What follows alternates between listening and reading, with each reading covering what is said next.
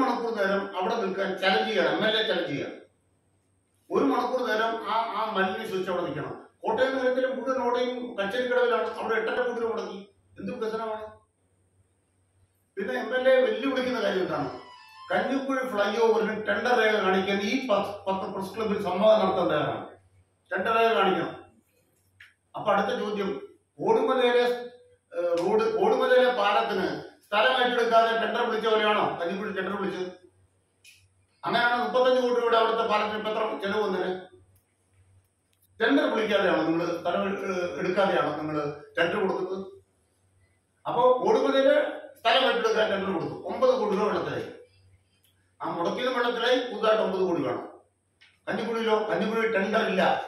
ഞാൻ Kottayam M L A ഞങ്ങൾ ഈ സമ്മേളനത്തിൽ ചലഞ്ച് ചെയ്യാം കഞ്ഞിക്കുഴി മേൽപ്പാലത്തിന്റെ ടെണ്ടർ രേഖകൾ കോട്ടയം പ്രസിഡന്റിൽ ഹാജരാക്കണം. രണ്ടാമത് വെല്ലുവിളിക്കുന്നത് എന്താണ് ചിങ്ങവനം ടെസിൽ ചിങ്ങവനം ടെസിലിന്റെ സ്ഥലം സ്പോർട്സിന് വിട്ടുകൊടുത്തോ? രേഖ ഹാജരാക്കട്ടെ. അവിടെ എൽ ഡി എഫ് മുടക്കി പറഞ്ഞാൽ രേഖ ഹാജരാക്കണം. രേഖ U D F L D F മുടക്കി എന്നാ പറയുന്നത്? എൽ ഡി എഫ് മുടക്കിയെങ്കിൽ രേഖ ഹാജരാക്കണം. രേഖ ഹാജരാക്കുന്നതിന് യു ഡി എഫ് എന്ന് ചെയ്യുന്നത് പുറംപോക്കി കല്ലിട്ടു. ഇപ്പോഴെന്താ കല്യാണം കിടപ്പുണ്ട് പുറംപോക്കിലാണ്.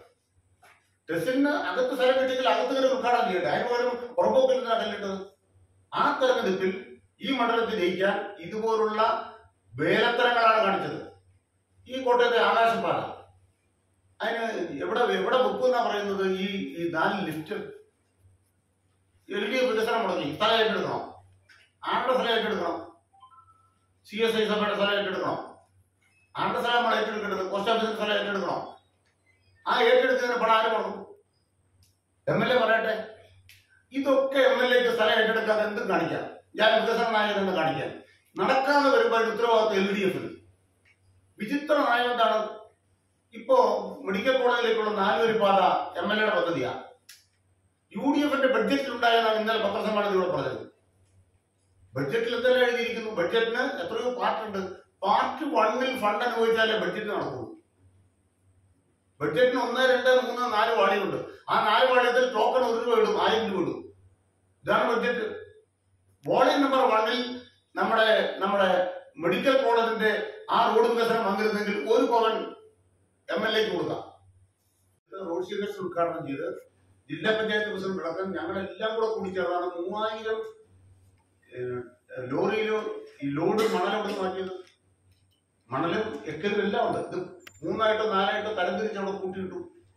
ജില്ലാ കളക്ടർ ഈ ടെൻഡർ വിളിച്ചു. ആ ഈ ടെൻഡറിന്റെ രേഖകൾ ഇവിടെ ഇല്ലായില്ലേ ഇല്ലേ? ഇനി മണലോ മണ്ണോ എന്ത് കയറ്റിക്കൊണ്ട് ഒരു കടലിൽ നിന്നല്ലേ കയറ്റാൻ പറ്റൂ. കയറ്റാൻ പാസ് വേണ്ടേ? ആരെ കൊണ്ട് കൊണ്ടുപോയെന്നാ പറഞ്ഞത് അപ്പൊ ഇത് ഇത് കൊണ്ടുപോയി എന്ന് പത്രസമ്മേളനത്തിൽ പറയുക അപ്പൊ ഇത് യഥാർത്ഥത്തിൽ എം എൽ എ ഇവിടെ വികസനം അട്ടിമറിക്കാൻ നദി തെളിക്കുന്ന അട്ടിമറിക്കാൻ കയ്യേറ്റക്കാർക്കൊണ്ട് രംഗത്തിറങ്ങിയത് തുറന്നു കാട്ടപ്പെടും. ആ തുറന്നു കാട്ടപ്പെട്ടതിന്റെ ജാള്യത മറയ്ക്കാനാണ് ഇപ്രകാരം ഒരു കാര്യം ചെയ്തത്. ഇവിടെ ഒരു കാര്യം ഇവിടെ ഒരു ഉപതെരഞ്ഞെടുപ്പ് നടന്നു ഉപതെരഞ്ഞെടുപ്പിന് തലേദിവസം പത്രസമ്മേളനം വളരെ വളരെ അസാധാരണമായ രൂപത്തിലാണ് അതിൽ വാർത്തകൾ വന്നത്. എങ്ങനെ വന്നത്? എം എൽ എ പറഞ്ഞതെല്ലാം സാക്ഷ്യപ്പെടുത്തുന്ന തരത്തിലാണ് വാർത്ത വന്നത്. അതിൽ ഒരു വാർത്ത ഇന്ന് എങ്ങനെയാണ് അതേ മാധ്യമം തന്നെ മറിച്ച് എഴുതിയതെന്ന് രാവിലെ കണ്ട് ഞാൻ വളരെ വളരെ സന്തുഷ്ടനായി. പക്ഷെ അങ്ങനെ ഒരു കാര്യം സംഭവിച്ചിട്ടുണ്ട്. തെരഞ്ഞെടുപ്പിൽ ഞങ്ങൾ തോക്കുകയും ചെയ്തു. ചിങ്ങിമരത്ത് പുത്തൻതോട് പാർട്ടി ഇലക്ഷൻ നടക്കുന്ന അന്നത്തെ വാർത്ത എന്താ? ഇന്നത്തെ വാർത്ത എന്താ? ഇന്ന് പറയുന്നത് ഓടുമതലി പാലം സ്ഥലം ഏറ്റെടുക്കാതെ ടെൻഡർ ചെയ്തൊരു കരാറിനെ ഏൽപ്പിച്ചു. സ്ഥലം കിട്ടാത്തവരാണ് ഇട്ടേച്ചു ഒമ്പത് കോടി രൂപ അഡീഷണൽ ആയിട്ട് ചെലവഴിക്കേണ്ടി വന്ന് ഇന്ന് വാർത്ത വാർത്തയുണ്ട്. ബഹുമാനപ്പെട്ട വർമ്മയാണ് ആ വാർത്ത ബൈലൻ ചെയ്തിരിക്കുന്നത്. അതിന് ഞാൻ അഭ്യർത്ഥിക്കുകയാണ്. പക്ഷെ പ്രശ്നം എന്താണ്? ആദ്യത്തെ വാർത്തയ്ക്ക് ശേഷം പുത്തൻതോട് ഉപതെരഞ്ഞെടുപ്പ് നടന്നു ഞങ്ങൾ തോറ്റു. ഇന്ന് ശരിയായ വാർത്ത വരുമ്പോൾ പുത്തൻതോട്ടിലെ ജനങ്ങൾക്ക് തിരിച്ചു വോട്ട് ചെയ്യാൻ അവകാശമുണ്ട്. കോട്ടയത്തെ വികസനത്തിന്റെ സ്തംഭനത്തിന് ഉത്തരവാദിത്വം എം എൽ എ ആണ്. കോട്ടയം നഗരസഭയാണ്.